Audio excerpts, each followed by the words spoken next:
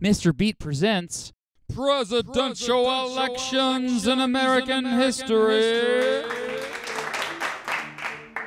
The 17th presidential election in American history took place on November 2nd, 1852. You might call this election the election of 1844 Part 2 because it was very similar to it. Just like in 1844, a young dark horse candidate won. Also, like in 1844, the incumbent president was a Whig who had become president after the death of his war hero predecessor, and that Whig didn't get his party's nomination for the next election. In 1852, that Whig was Millard Fillmore, who took over after Zachary Taylor died in 1850. The biggest national issue during Taylor and Fillmore's presidencies was the expansion of slavery out in Western territories. The Compromise of 1850, Compromise of 1850, had helped ease tensions a bit, but it really just kicked the can down the road. The country was becoming further divided between Northerners and Southerners over slavery. You know what else was divided?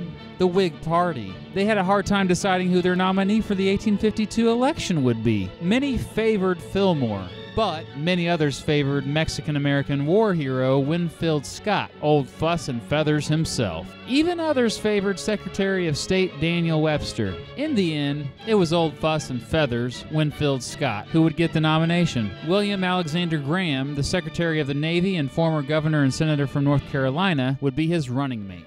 The Democratic Party had at least nine candidates who were all fighting to get nominated. At their convention, four major candidates stood out Lewis Cass, who won the nomination in 1848, James Buchanan, the former Secretary of State and Senator from Pennsylvania, Stephen Douglas, a Senator from Illinois, and William L. Marcy, the former Secretary of War. Then, seemingly out of nowhere, comes another dark horse candidate for the Democrats Franklin Pierce, a 48 year old former senator and representative from New Hampshire. They ended up nominating Pierce with William R. King, a senator from Alabama, as his running mate. Third parties? Oh, there were plenty. The biggest was the Free Soil Party, which had a strong showing in 1848. They nominated this time John P. Hale, another senator from New Hampshire, with George Washington Julian as his running mate, a U.S. representative from Indiana who was later a radical Republican before it was cool. The Union Party formed after many Whigs were upset with Winfield Scott's nomination. They nominated Daniel Webster for president. Then there was the Native American Party. No, not that Native American, that Native American Party. They were also known as the Know Nothing Party by opponents who thought that they, well, knew nothing. Surprisingly, the party embraced the nickname because I guess they liked being called stupid. They also nominated Daniel Webster, even though Webster didn't approve. And then there was the Southern Rights Party, an offshoot of the Democratic Party that nominated George Troup, a former senator, representative, and governor of Georgia. This was the first election in which citizens of the new state of California could vote. The two biggest political parties, the Whigs and the Democrats, had similar platforms, so the campaigns were mostly mostly just about the personalities of Pierce and Scott. This jaded a lot of voters and explains why so many third parties popped up. The lack of clear cut issues caused the voter turnout to decline. And here are the results.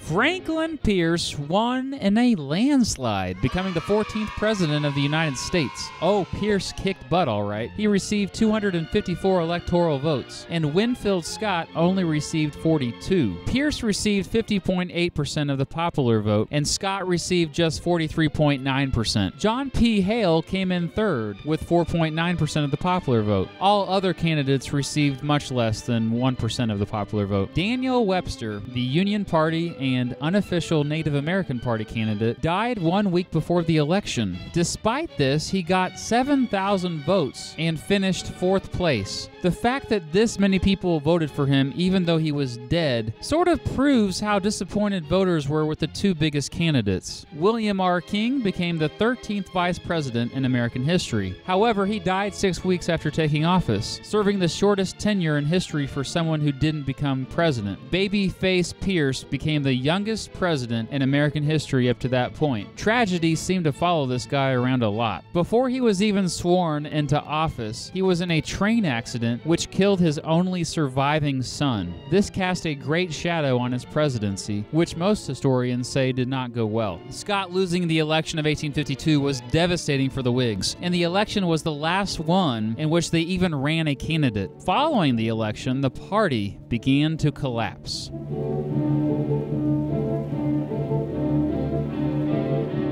I'll see you for the next election, buddy.